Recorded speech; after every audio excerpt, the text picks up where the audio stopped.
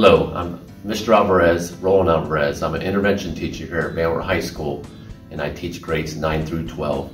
This year I'll be teaching uh, uh, different classes. One of them is a life skill class in which we'll be covering 15 different ways to improve our life skills, something like money management, time management, and self-advocacy and coping, so different topics that we'll be covering in life skills.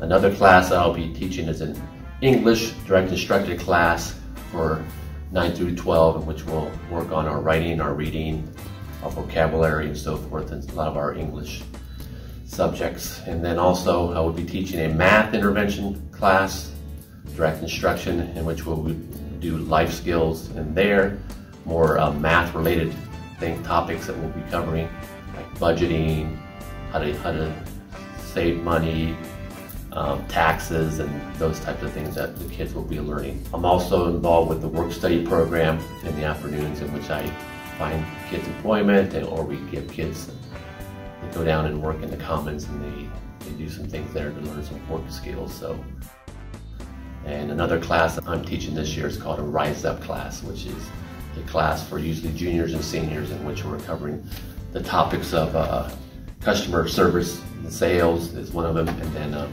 Another one's retail, so we'll have to talk a little bit about that in the Rise Up class. So those are the responsibilities I'll be having this year. If you have any questions, uh, call Wert High School at 419-238-3350. Thank you.